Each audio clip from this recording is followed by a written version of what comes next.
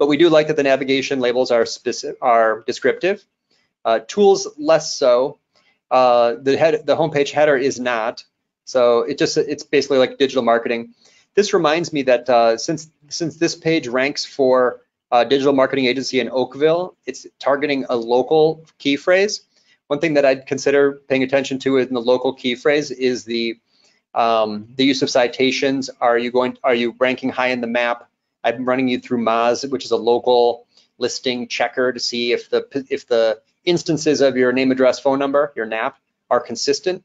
The more the more consistent the instances of your name, address, phone number, the more likely you are to rank high in the map and come up for local key phrases. This is probably relevant to everybody. Basically, it works like this. Uh, the big the big aggregators, Localeze, Acxiom, Infogroup, and Factual, uh, manage syndicate their data to everybody else. Those people have their own databases, Yelp and Facebook and YP.com, and all of the and then there's the little players who get their data from many sources. When all of these are consistent and when they're all inclusive of you, when they all have you in there, then Google is more likely to believe that there is a business with that in that category in that location. This is the heart and soul of local SEO. In this case, there are quite a few instances where Piece of Cake has not. Um, just using Moz Local would probably help a lot for anyone that you know they're um, they're not in these places yet. There's a couple of missed opportunities. There's a couple places where it's not consistent. So that would be uh, an opportunity.